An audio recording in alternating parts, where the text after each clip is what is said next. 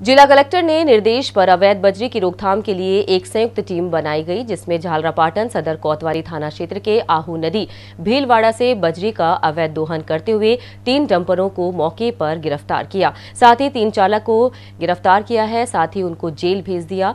तीन डंपरों पर प्रशासन कार्यवाही करेगा। झालावाड़ ज़िले से अवैध बजरी, खनन माफिया लगातार नदियों सीना चीर कर अवैध बजरी का दोहन कर रहे थे और थानों के सामने लगातार देर रात्रि डंपरों का आवागमन था।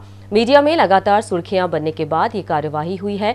सबसे चौंकाने वाली बात यह है कि इन डंपरों पर आगे नंबर लिखे होते हैं तो पीछे नंबर नहीं लिखे होते हैं। किसी के पीछे नंबर लिखे होते हों तो आगे नंबर नहीं लिखे होते हैं।